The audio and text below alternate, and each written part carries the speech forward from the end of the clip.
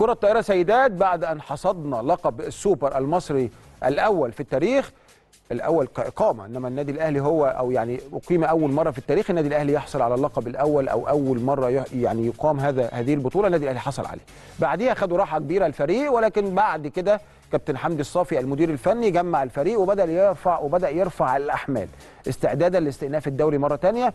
مهم جدا إن إحنا نخرج من حالة الفوز والفرح إلى حالة الاستعداد ورفع التركيز الفني والبدني عشان نستعد لاستئناف المباراة اللي هتكون بأي حال من الأحوال مش سهلة. آه، نادي الزمالك عمل فرقة آه، جيدة آه، ولكن إحنا هنا بنتكلم على النادي الأهلي فريق كويس فريق سكواد يعني جيد محتاج الاستعداد ومحتاج يكون على اهب درجات ال- الاستعداد.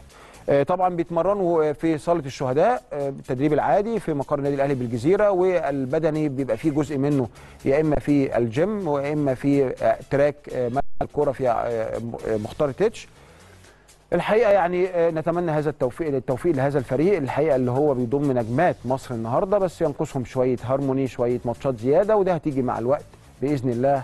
حتى بإذن الله يحافظوا على لقب الدوري اللي إحنا دايما مفضل لينا. وكالعادة كرجال وسيدات أكتر فرقتين حصد للألقاب في الكرة الطائرة، الكره الطائرة تنافس كرة القدم في أرقامها في النادي الأهلي.